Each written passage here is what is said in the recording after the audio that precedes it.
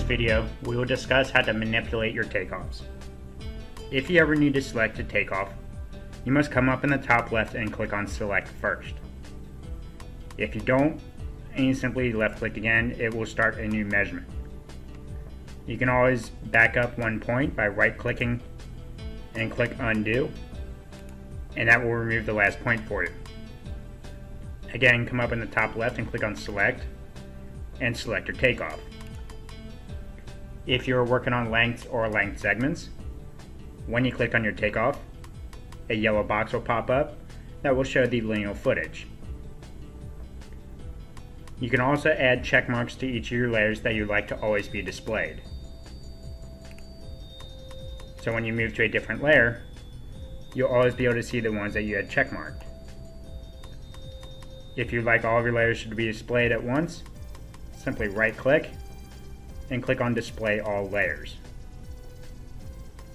Now it is important to note that even though all layers are displayed, you cannot click on each one of these layers.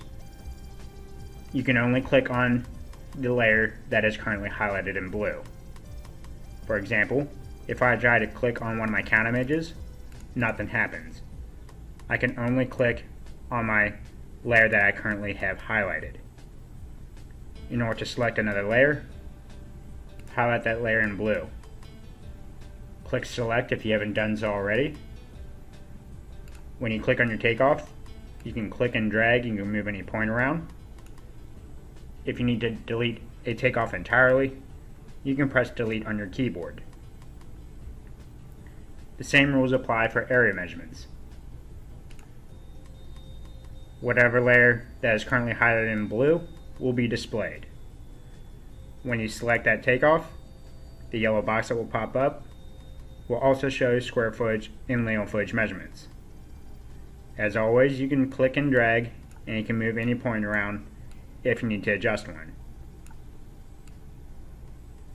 Again, if you like all your layers displayed at once, simply right click and click on display all layers.